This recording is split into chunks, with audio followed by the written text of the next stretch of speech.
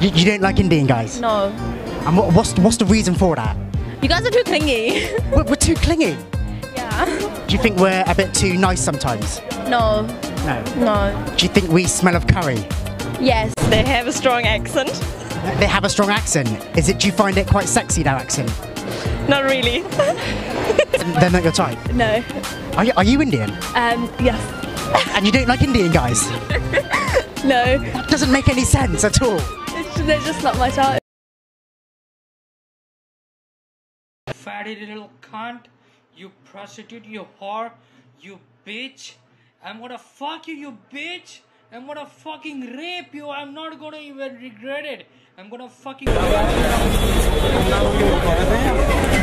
Rana, Rana.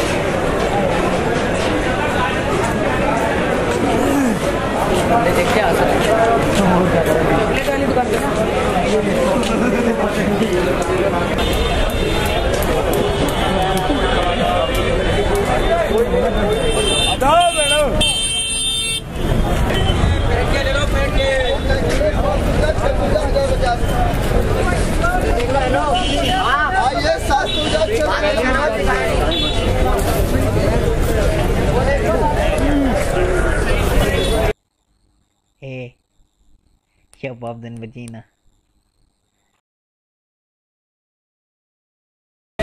Indian woman white man breeding parties. I am only gonna read some parts of this message. She says, I have been to one. They are simply called breeding parties.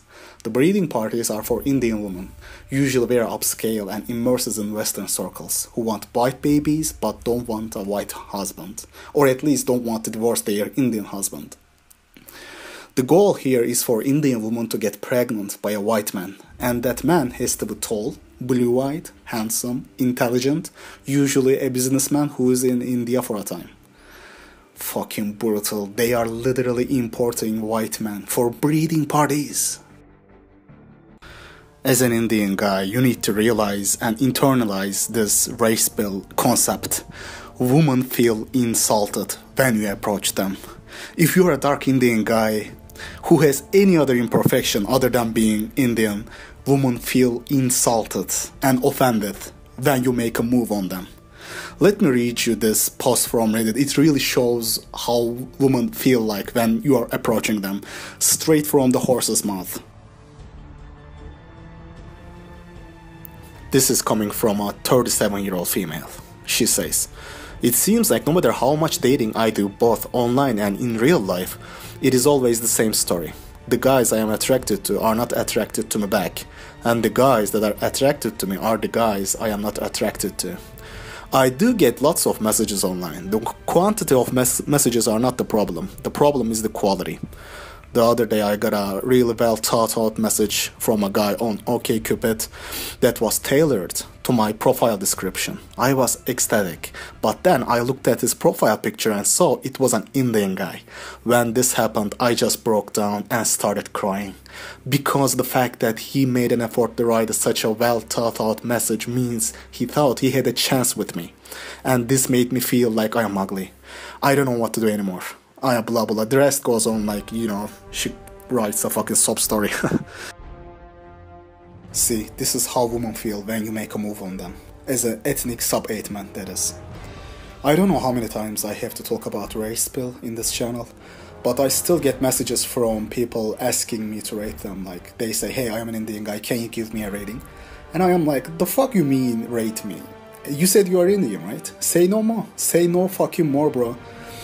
Like, I don't want to say it is over, but it is over. If you ever find yourself in incel circles asking people to rate you, then you know what the deal is. A lot of Indian men are just not ready to take the black pill. Like, they still have that hope. In episode 05, I have shown you that Indian PUA, but he's not the only one. Internet is literally filled, YouTube is filled with these kind of cringy Indian PUAs.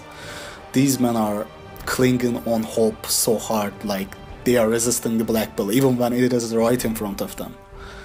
Like so many Indian PUAs, YouTubers doing these kind of cringy interviews and life approaches, and they still can't realize they are being rejected.